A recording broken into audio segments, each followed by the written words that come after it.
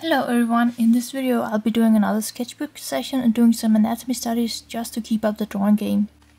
The materials I'll be using are Caran d'Ache luminance pencils, specifically the color Carmine Lake, which I really love. Um, it's one of the few color pencils that I found that has a very dark aubergine color. I'll also be using some PanPastels to briefly construct the base of my drawings. I'm using a triangle spatula where I've cut the tip of the sponge off so that it has a square tip which allows me to get sharp edges with the pan pastels, uh, something which the sponge tips don't really do otherwise. I'm using uh, references from the Mage pack by Rachel and Nora Bradley which I've had for quite a while and um, from the Express Mail pack by Graphite Studio. So for the first one here I really started with quite a hard one as I really suck at drawing noses seen from below. Um, it turned out okay in the end, but it definitely could have been better.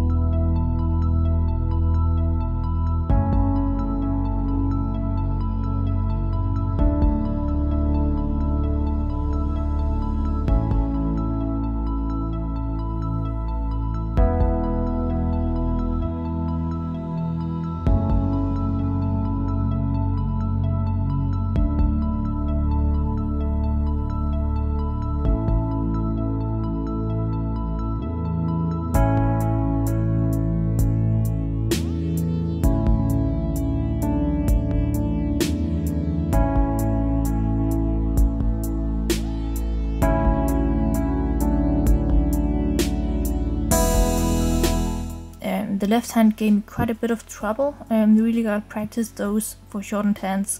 I managed to make it at least decent in the end by deviating from the reference a bit and making a more shape-based uh, designed hand.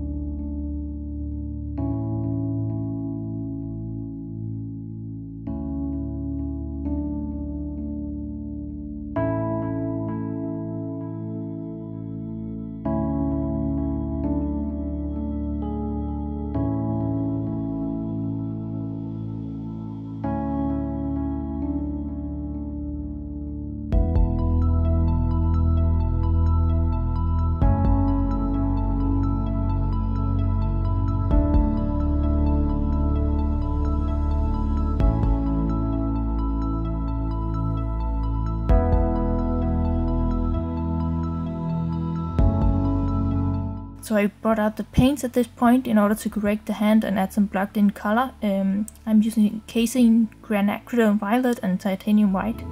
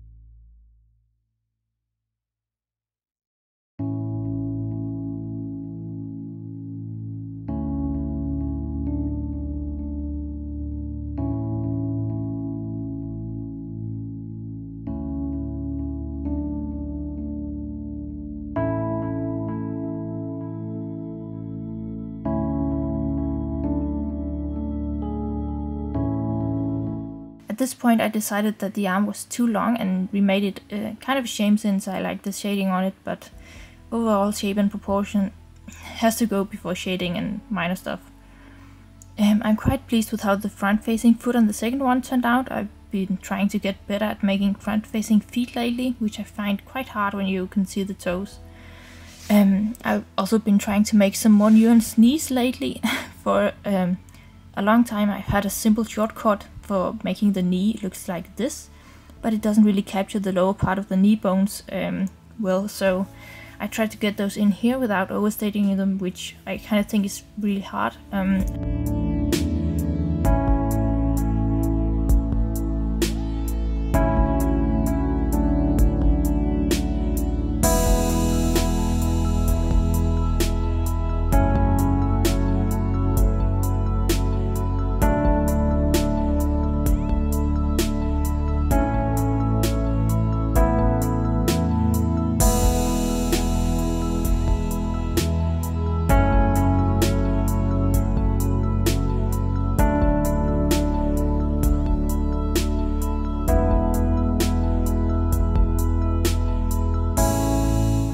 struggled a bit with the profile for the second one.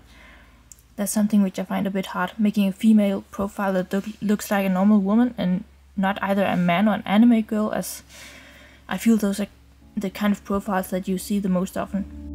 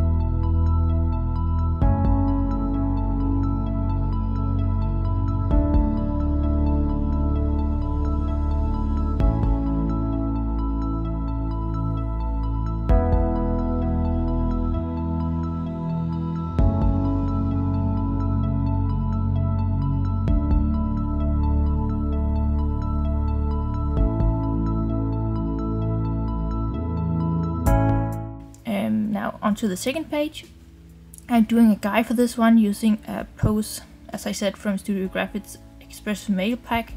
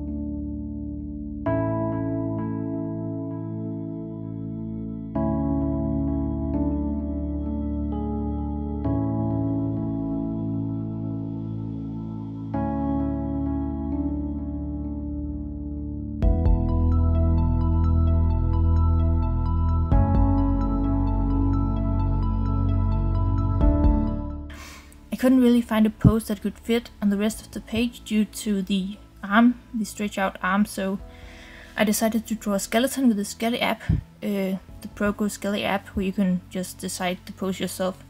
Um, I've been doing a lot of skeletons lately, so for different projects, so I wanted to do one here too.